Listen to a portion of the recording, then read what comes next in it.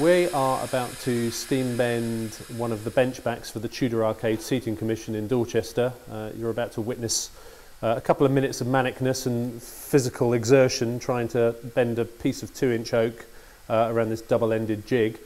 Um, hopefully all will go to plan, but anything can go wrong on these things. If there's an invisible fault in the timber, it can break or one of the jigs could come apart. Um, but hopefully everything will go to plan. Um, right, Mike, are you ready? Yep. Let's do it.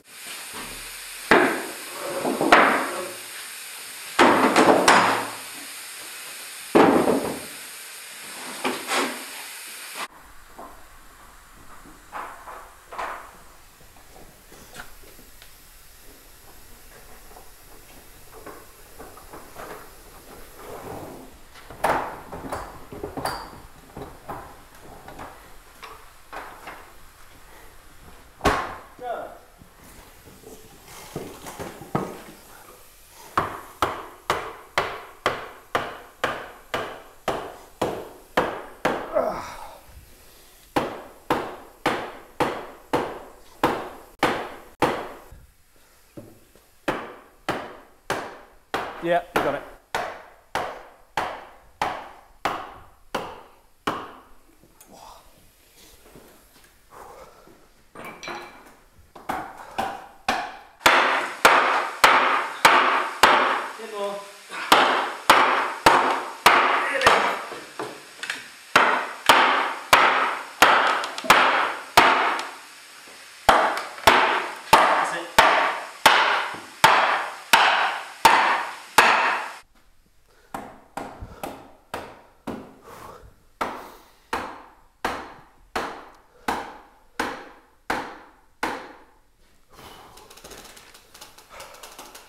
Easy.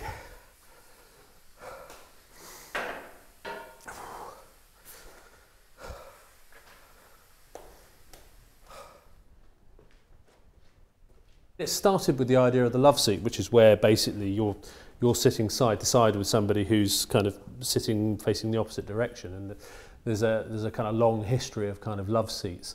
So that's where it started, and then the idea of this kind of long kind of snaking bench with kind of quite abstracted kind of seats and people facing different directions. I mean, that's kind of where the idea sparked from, from the love seat idea. Um, and also it's kind of slightly throne like a lot of people who sit on my chairs. I mean, I, I design chairs to be really comfortable. Um, and there's a, there's a kind of grounding when you sit on a chair, which is, you know, with your, especially an armchair where it just kind of feels right, where you kind of sit in it and it somehow makes you feel bigger because they're right, because they're comfortable and they're well designed.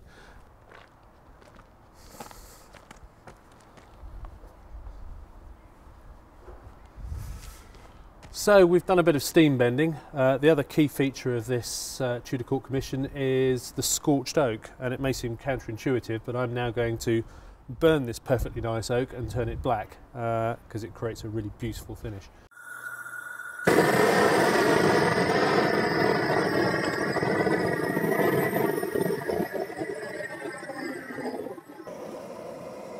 There's a to scorching like everything else. It's uh, get it too close and it doesn't seem to work, ironically.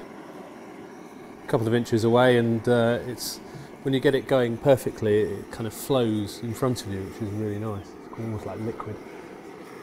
It's a really nice process.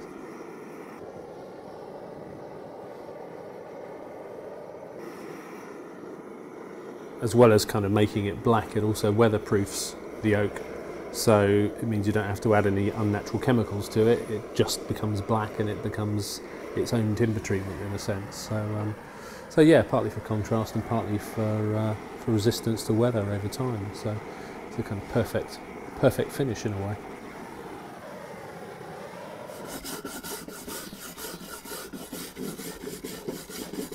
It's a little bit like scraping the burn off the toast in the morning. It's um, it's a dirty job, makes you feel more like a coal miner than a cabinet maker, but um, yeah, it's uh, it's satisfying actually. It's a lovely lovely job. It's kind of very instantaneous, which isn't something you really get from cabinet making very often. You know, normally it's kind of quite slow and laborious, and you kind of get instant results from this, which is nice.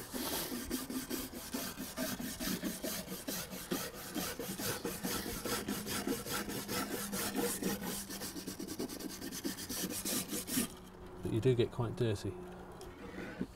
And finally, we give it a second scorch because that really brings out the kind of the woody texture as all the soft materials burnt away, and you get that uh, you get that really kind of textural, kind of visceral feeling out of it, which is is really exciting as a as a woodworker. You know, it's lovely.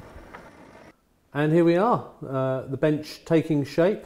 Um, you can see the kind of lovely combination of the natural oak, and this is the, the steam bent element that we did this morning, um, or a rail just like it, uh, and that in combination with uh, the really textured scorched oak, um, really looking beautiful and uh, really exciting actually. So uh, I'm really proud of it. It's really coming together nicely. You've got three sections out of eight here.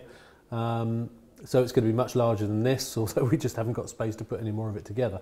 Um, so I really hope uh, people in Dorchester and Dorset really enjoy it, um, and we're really looking forward to getting it in.